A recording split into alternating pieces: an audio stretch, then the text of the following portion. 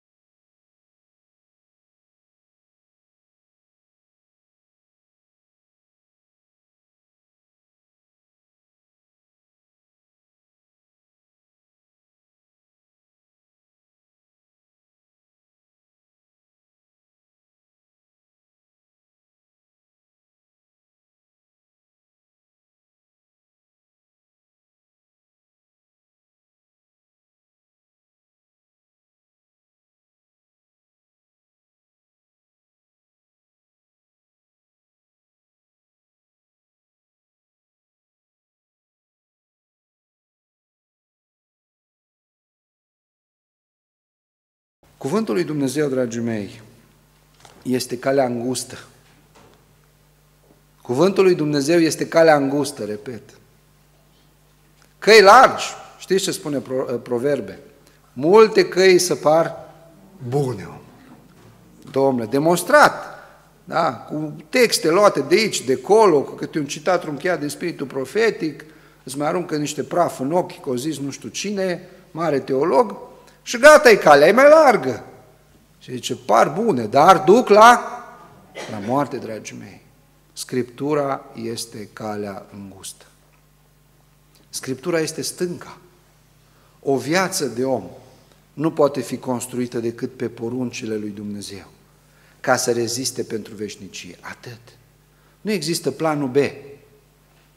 Nu există vreo variantă ocolitoare. N-ai cum.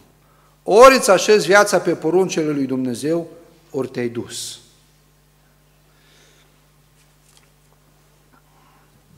La Cartea Psalmilor, capitol 12 cu 6, spune Cuvintele Domnului sunt cuvinte curate, un argint lămurit în cuptor de pământ și curățit de șapte ori.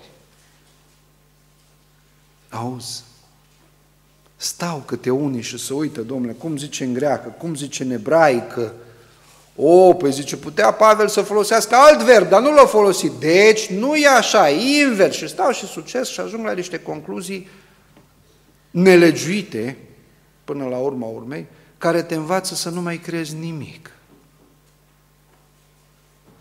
Dar cuvântul lui Dumnezeu este lămurit. Și știți ce spune Duhul Sfânt, Cartea Evreilor 4 cu 12? O aduceți aminte versetul? Orice cuvânt al lui Dumnezeu este... Nu, zice, asta este în proverbe, îl cităm și pe asta. Cuvântul lui Dumnezeu este tăietor, ca o sabie cu două tăișuri. Ce face cuvântul? Despică măduva de os, zice, judecă gândirile și simțirile inimii. Adică lucrurile stau cam așa. Deasupra este Sfânta Scriptură, cuvântul lui Dumnezeu, care ne judecă pe noi. Înțelegeți? Scriptura este perfectă și ne judecă pe noi. Noi cum suntem? Suntem perfecți? Are ce judeca Scriptura? Are, că stai să citești. Da? Femeia să nu se îmbrace, v-am dat iarăși un exemplu ca să vă enervez, să vă țin treji. Femeia să nu se îmbrace haine bărbătești și bărbatul în haine femești, că asta este o urăciune înaintea Domnului, da? de autoronom. Nu-ți place versetul ăsta, că tu poate că ești bărbat și îți place să te îmbraci în fustă. Că zici că e mai comod, nu? Așa zic bărbații, că fusta e mai comodă. Și acum te trezești că Biblia vrea să-ți schimbe hainele din uh, dulap. Te simți bine când se bagă cineva în șifonierul tău să ți le ia la rând? Nu. Am dat doar un exemplu, uitați-l. Cuvântul este cel care judecă. Dar cineva ne-a învățat, nu vă spui cine, că de fapt este invers. Noi trebuie să stăm să judecăm Scriptura și să o luăm la analizat și la puricat și să vedem cum erau corintenii pe vremea aia, cum erau ei la alții și să ajungem la concluzia că Biblia e greșită să o corectăm noi. Cum vi se pare lucrul ăsta? Știți cine a făcut prima dată lucrul ăsta? Cel rău. Și după el, la Daniel 7 cu 25, ne spune cine continuă. O aduceți aminte versetul, Daniel 7 cu 25. E un corn acolo, mic, care ce se va încometa să schimbe vremele și legea, domnule. Dar noi, adventiștii, nu trebuie să ne încumetăm la astea. Noi trebuie să rămânem un popor legat de Scriptură. Pentru că Scriptura rămâne și ce nu pe Scriptură s-a dus în neant, s-a dus la foc. Haideți să vedem și Proverbe 30 cu 5. Orice cuvânt al lui Dumnezeu este încercat. El este un scut pentru cei ce se încred în el. N-a adăugat nimic la cuvintele lui ca să nu te pedepsească și să nu fi găsit mincinos. Era la o întâlnire din asta de liberalizare a bisericii, frații neoprotestanți, un pastor care de la Anvon încerca să le explice unor membri de la țară că nu e chiar așa cum zice Scriptura și că atunci când evreii au trecut prin Marea Roșie, N-a fost o minune în sensul literal al cuvântului că să despice marea. Nu, a fost flux, reflux, a fost o potecă pe acolo care te udai până la genunți dacă știai pe unde să treci și Moise i-a trecut pe evrei pe acolo. Și în spate era o soră mai în vârstă care nici n-a auzat bine și tot striga de acolo, Domnul fie lăudat! Știi, la ei e fain, așa că ei participă și la noi este o atmosferă mult mai sfântă de criptă, așa că toată lumea tace și nu cântă și nu se roagă. Și, da? și omul aude, știi, dar zice, ah, nu a fi înțeles oraș. Și iar explică, știi, că nu a fost chiar o minune, că de fapt oamenii au trecut în apă până la genunchi și cam aia a fost totuși. Sora iar spune, Domnul fie lăudat! La urmă se dă jos de la învon, omul vizibil enervat și spune, se duce în spate, spune, sora, dumneata n-ai înțeles. Nu s-o despica marea, oamenii ori știu pe unde să treacă când a fost uh, refluxul. Și sora zice, ba, am înțeles, zice, Domnul fie lăudat. Păi ce, de, de ce? Și dacă a reușit Domnul să nece o armată în apă până la genunchi, îți dai seama? Vezi? Ce spune Scriptura? Și ne întoarcem înapoi la proverbe. Orice cuvânt al lui Dumnezeu este încercat, el este un scut pentru cei ce se încred în el. N-a adăugat nimic la cuvintele lui ca să nu te pedepsească și să fii găsit cum? Mincinos. Domnule, când te, când te cerți cu Scriptura, ești mincinos. Spunea așa de interesant, de curând am descoperit și repet peste tot unde predic, Ellen White, pe la 1890, a spus un lucru inspirat de Dumnezeu. Oricine contrazice Scriptura vine de la cel rău. Repet, oricine contrazice Scriptura vine de la cel rău. Este agentul diavolului. Sunteți de acord cu afirmația asta? Dacă Biblia e chiar cuvântul lui Dumnezeu, nu poate fi altfel. Pe la anii 350, Sfântul Ioan Gură de Aur spune același lucru. Dacă cineva contrazice Scriptura, este de la satana. Nu e interesant. S-ar putea să ne întâlnim cu Sfântul Ioan în, în ceruri. Și Dumnezeu să fim acolo. Numai dacă ne bazăm viața pe poruncele lui Dumnezeu. Dacă le răstălmăcim, nu știu. Nisipul e înșelător, dragii mei. Cuvântul lui Dumnezeu este un scut. Am avut ocazia mulți ani la rând să mă duc unul cu altul care veneau pe la noi în vizită, pastori din toate colțurile lumii, să mergem la Toledo, să-i arătăm orașul Toledo. Acolo este un oraș, cum e Sighișoara astăzi, dar mult mai mare, oraș medieval, vechi, uh, cred că este patrimoniu UNESCO, adică sigur este patrimoniu UNESCO și uh, toate păstrate, cum se cade, zidurile ca pe vremuri, porțile, sunt foarte multe magazine din astea de armuri, de scuturi, de săbii, de topoare medievale și oamenii vin și își cumpără. Ei, am văzut multe scuturi, mai mari, mai mici, rotunde, dreptunghiulare, tot felul de scuturi. Știți că niciunul n-am găsit cu găuri? Cum aș arăta eu cu un scut cu găuri? Pe pe acolo trec săgețile. Și nu are sens să te cari cu fierul ăla după tine dacă nu te apără. Nu? Nici un sacou, dacă e găurit, nu-l mai iau. așa -i? Mă fac de rușine și mă și trage curentul pe acolo. O umbrelă găurită, cum ar arăta? La ce folosește? Nici la ploaie, nici la soare. Credeți că Sfânta Scriptură are găuri? Niciodată, dragii mei. Au fost unii care au crezut lucrul acesta și așa am apărut noi Frații din România sunt într-un fel, frații din Spania într-altul fel, în județul Gorj e Hăis, la Arad e Cea, la Maramureș e în sus, la Teleorban în jos. Dar, dragii mei, Scriptura nu permite lucrul ăsta. Dumnezeu nu pregătește mai multe popoare, ci un popor care să fie așezat pe lege. O singură lege, atât. E așa de interesantă, biserica primară Biserica primară a crescut. Acum noi scădem și oamenii sunt îngrijorați că scad membrii, scad finanțele, scade, toată lumea scade. Să știți că nu numai la noi. Noi credem că în America de Sud cresc bisericile. Or fi ceva statistici, dar eu vă spun, am fost acolo și am predicat în Venezuela uh, într-o biserică de 240 de membri. Și venind multă lume, am uh, am dus și scaunele din curte, că era ca aici la dumneavoastră și avea o curte interioară și Ori chemat multă lume și atunci aveau și scaune acolo unde mai mâncau, la mea era foarte faină biserica. Și fiind evangelizare, da, fratele gringo, ei tot ce e mai blond ca ei, gringo. Da, americanii nu știu unde e Europa, unde, n-au nicio treabă, nu interesează.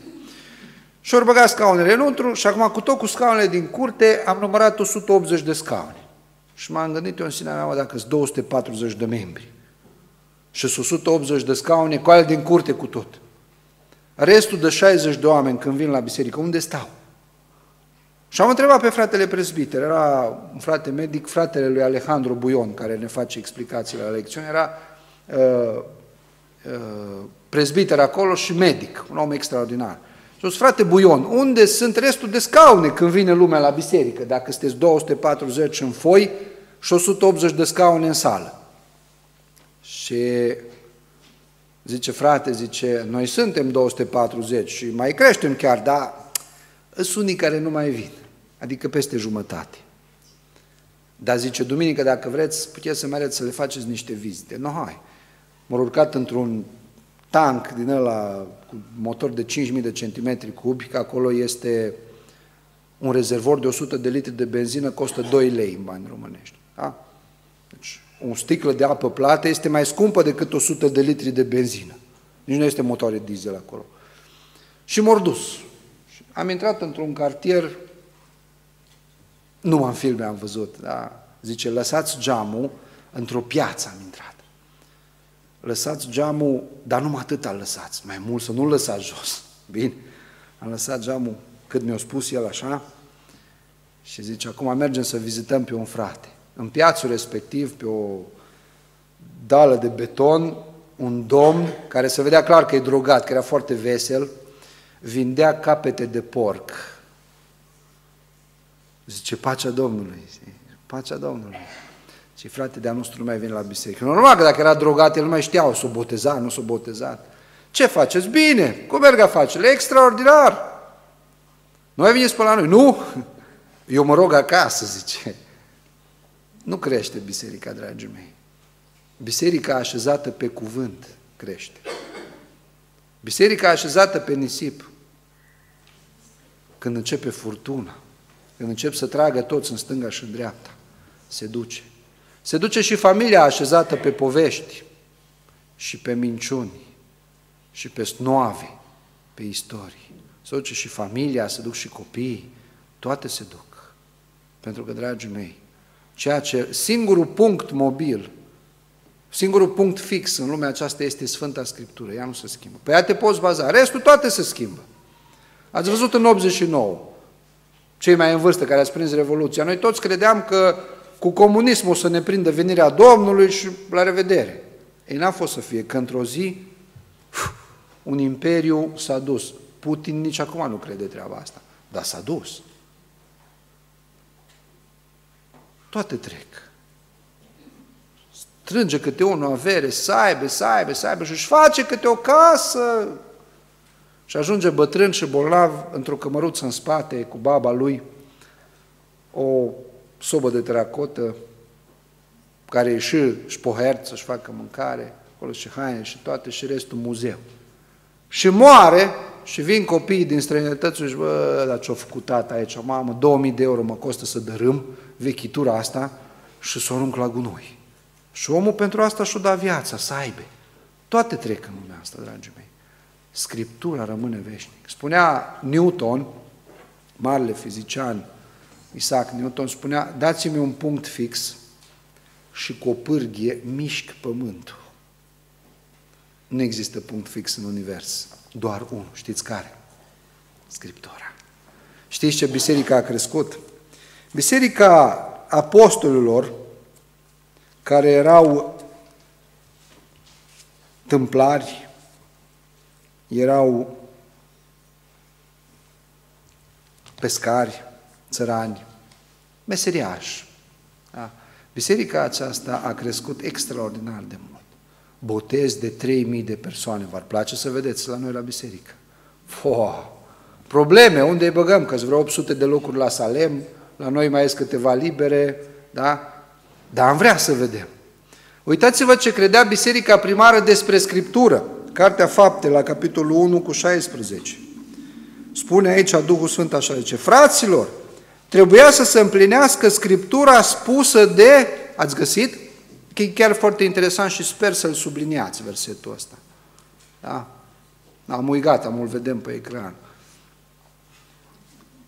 Trebuia să se împlinească Scriptura spusă de Petru, Pavel, Ioan. Nu. Scriptura este spusă de, de Duhul Sfânt, dragii mei. Oh. Poate nu ne mai permitem să-L corectăm pe Duhul Sfânt. Poate ne trezim și ne așezăm viața și biserica pe stâncă, pe cuvânt. Și mai sunt câteva exemple. Da? În uh, aceeași carte a apostolilor, la capitolul 3, versetul 18. Dar Dumnezeu a împlinit astfel ce vestise mai înainte prin gura tuturor prorocilor Lui. Dumnezeu a împlinit ce vestise prin gura tuturor prorocilor. Când prorocii au vorbit, cuvintele cui le-au spus? Ale lui Dumnezeu. Și atunci e clar, nu avem ce să corectăm. Nu avem ce să negociem cu Dumnezeu. Știți cine negociază? Iona. Iese bine Iona. N-ai vrea să pici în mare și să vezi un monstru în ala dacă 30 de tone că se apropie de tine să te înghită. Știți cine negociază? Ahab negociază. Izabela negociază. Ilie nu. Elisei nu. Nu negociază cu Dumnezeu. Este da și amin. Asta se cheamă ascultare. Da? Dacă eu plec de acasă și îi spun băiatului meu, la până vin, să strângi nucile. Te pui într-o coșară de paie, să acolo. Și când viu acasă, copilul îmi spune, tati, o cam bătut vântul, m-a cam capul, m-a luat cu fotbalul și nu le-am strâns, dar asta este ascultare sau neascultare? Oricât de frumoasă ar fi povestea, tot neascultare se cheamă. Așa e și la noi. Mai sunt câteva versete interesante pe aici. Versetul 21, fapte 3. Despre aceste vreme a vorbit Dumnezeu prin gura tuturor sfinților săi proroci din vechime. Deci n-a vorbit Isaia, n-a vorbit Ieremia, a vorbit Dumnezeu. Nu-ți mai permiți să fii adventist relaxat. Chiar nu-ți permiți treaba asta, pentru că vrei să fii mântuit. Găsești și cauți cu disperare atunci în Scriptură să vezi, mă, dar eu dacă îmi pierd mântuirea? Că uite ce scrie, ce că este rușine pentru o femeie să poarte părul scurt și pentru un bărbat să poarte părul lung. Scrie. Știți unde scrie? Știți? 1 Corinteni 13, dar noi nu vedem 1 Corinteni 13 decât feliuța cu dragostea, care nu înțelegem. Da? 1 Corinteni 13 este unul dintre capitolele cele mai neînțelese de adventiști de ziua șaptea. Cele mai obscure pasaje din Scriptură sunt, un, sunt Ioan 3 cu 16 și 1 Corinteni 13. Dragostea, noi nu înțelegem ce e acolo și de-aia ne comportăm care cum. Cum e unul prins cu mâța în sac și îl pui în discuție pentru cenzură și excludere, țipă 1 Corinteni 13. Dragostea, fraților! O fi. Ce știu eu? De altă dragoste. Nu e aia de care vorbește Scriptura. Nu vă mai citesc, mai sunt versete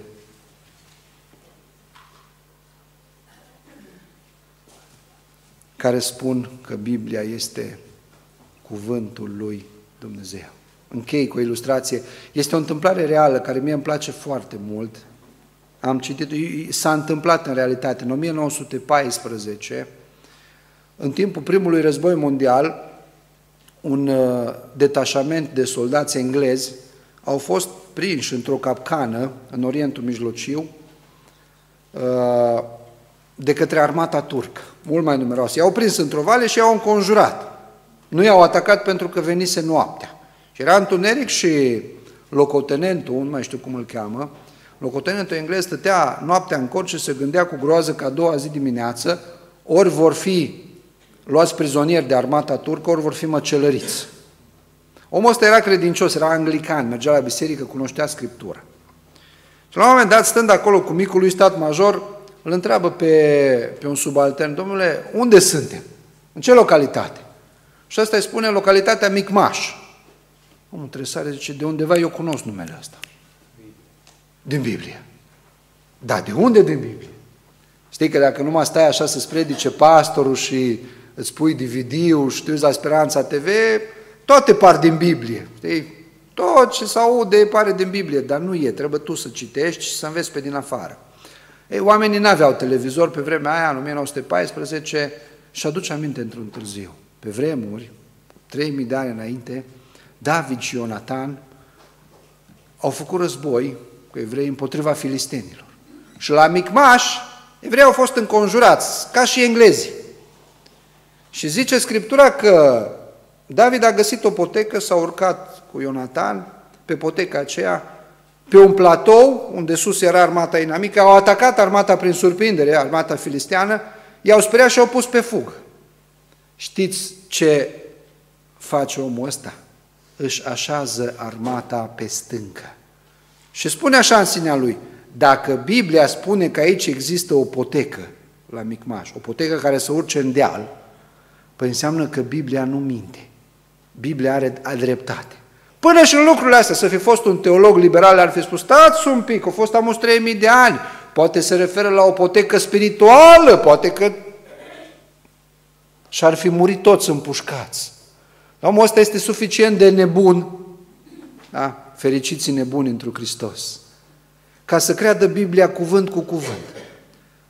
Organizează un comando, cei mai buni soldați, găsesc poteca în întuneric, urcă pe platou, atacă armata turcă, creează panică și scapă, pentru că au crezut că Scriptura este inspirată literal.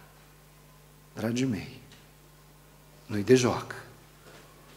Câte bordei, atâtea obicei. Dar nu pentru cei ce merg în ceruri. Dacă vrei să fii mântuit, ia Scriptura. Cred-o. Cuvânt cu cuvânt, că ai văzut că e a Domnului. Nu e nici Pavel, nici Isaia, nici Moise, nimic. Dumnezeu a vorbit prin gura tuturor prorocilor săi. El este autorul și nu greșește. Trăiește, păzește poruncile mari și cele mici și ești pe calea îngustă care duce invariabil la noul Ierusalim. Dumnezeu să-ți ajute la aceasta. Amin. Amin.